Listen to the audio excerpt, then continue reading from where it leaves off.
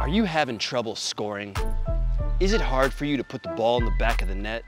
Guess what? Today, we've got how to score without beating a defender.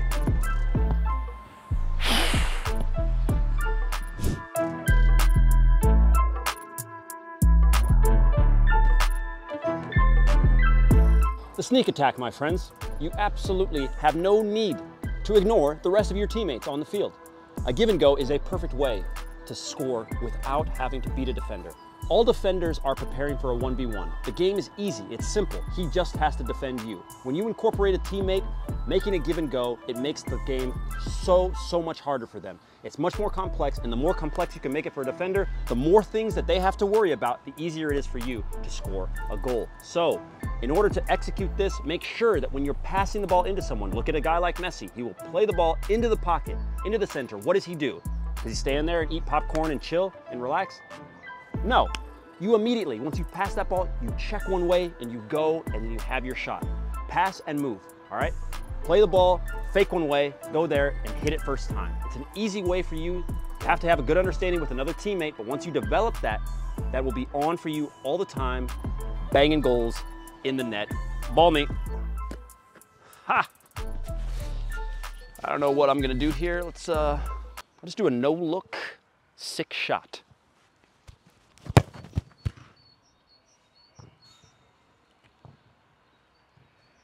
Video over. One of the most important things as a, one of the most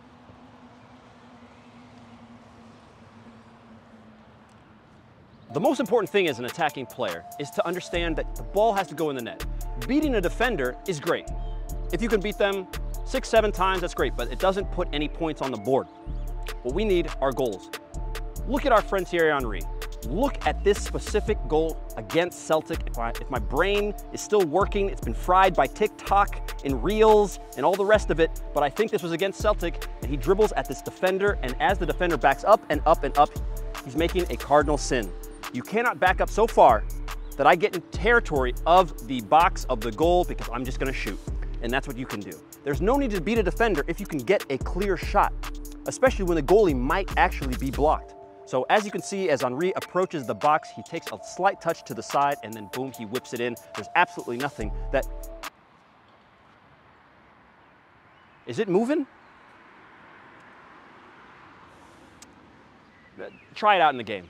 It works. Ah! Guys, there's some fans here. To...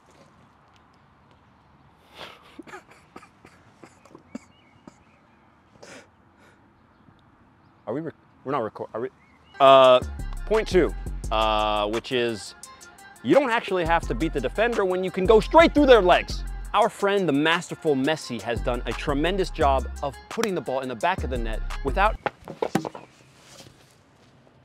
so the way to execute this, Mbappe and Messi, they take their touch out wide. You have to make sure that the defender believes you're going to shoot around them or past them. Once you've done that, they've got to reach their leg up, you shoot directly under them, go off, you score, and you celebrate, my friends. This is the exact thing that you need.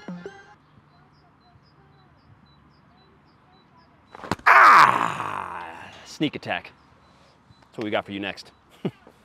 That's the vid, my friends. Leave us a like, comment down below, subscribe, and check out everything from us here at Unisport in the description box, and we will see you later after this crossbar. I've been hitting the crossbar so much lately that I think I'm just gonna do an old school Dr. J skyhook. Nailed it.